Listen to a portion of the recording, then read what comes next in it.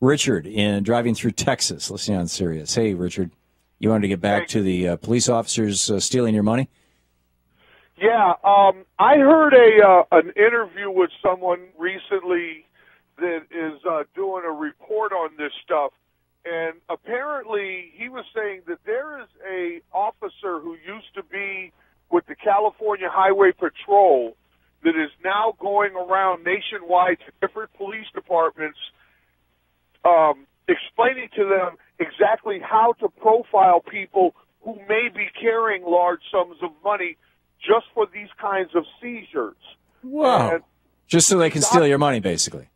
yeah, he documented a story of uh, these two guys that were driving through, I want to say Missouri or Iowa or somewhere, and um, the guys were professional poker players. They go to these tournaments all over the country and play poker. They were mm-hmm. carrying over ninety thousand in cash in a briefcase.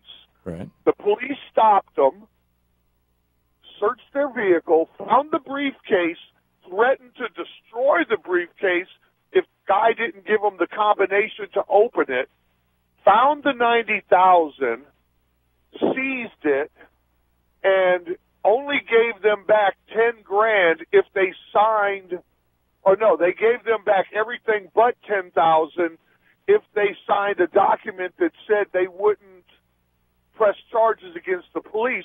And these guys were never charged with anything. Right.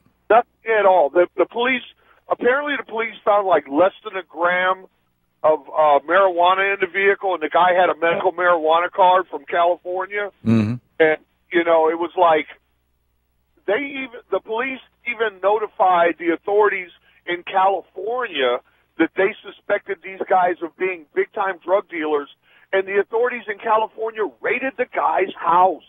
Amazing. Amazing. And they, they were never charged with anything in the state that they were stopped in. We have totally jumped the shark in this country. And and this is the criminal justice system that preys on little people. It preys on average people. It preys on working people. It preys on on you know poker players.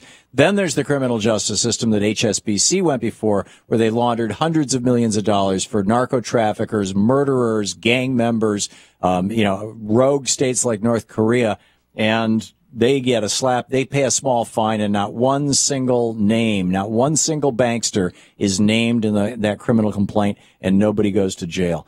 This is, it, we're not just an, an oligarchy, Richard. We have become a kleptocracy, a, a government that steals from its own people. It's a horrible thing. Richard, thank you for the call. Thanks for the heads up on that.